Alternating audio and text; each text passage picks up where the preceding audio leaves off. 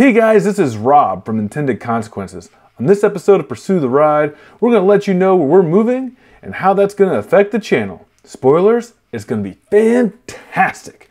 Hit the graphic.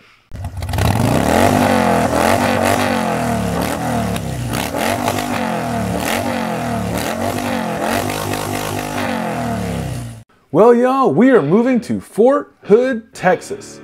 This mega base spans some 215,000 acres, nearly right in the middle of Texas, sandwiched between Austin and Waco.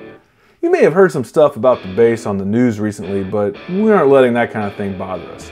Our mentality on assignments is they're only as good as you make them, and we plan on making this one a good one. We aren't really sure which community outside of Fort Hood we're going to end up settling in, but we're really excited in doing research and learning a lot of stuff about it. So, more to come with that. Random Texas fact Dr. Pepper was invented in 1885 by pharmacist Charles Alderton of Waco, Texas. So, why are we moving? Um, just to brush some of y'all up who might be new to the channel, Corinne and I are a military family, and I've been serving in the Army for nearly 22 years at this point. Roughly every three years or so, the Army likes to move personnel around to new locations.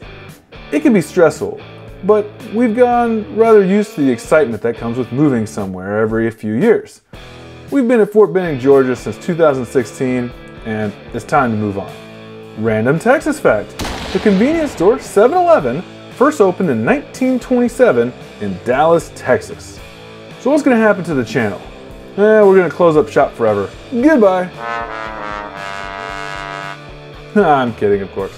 We aren't moving until this summer, so we plan on making some more videos while we still can until then. But yeah, when we actually do move, there will obviously be a short break while we're getting settled in. After that though, the action can resume. And we have no doubt that through this entire process, we will be inspired to make some great new content. Random Texas fact. Breast implants were conceived and invented by doctors Frank Gerow and Thomas Cronin of Houston, Texas. Anyway, everything's gonna be okay. Pursue the ride, it's not going anywhere. We're just taking a slight pause in July. We're very excited at the riding possibilities in Texas and are pumped to get there, get settled, and then explore. Now, in the meantime, let us know in the comments below things that we should put on our Texas riding bucket list. Should we get adventure motorcycles? Mm-hmm. Oh, and is there anything we should particularly avoid? We, we need your help, Texans. Anyway, if you like this sort of thing, please like and subscribe. Remember, keep the rubber side down, and I'll see you next time. Last random Texas fact Texas Roadhouse isn't from Texas. The restaurant is headquartered in Louisville, Kentucky. But you know what restaurant chain is from Texas?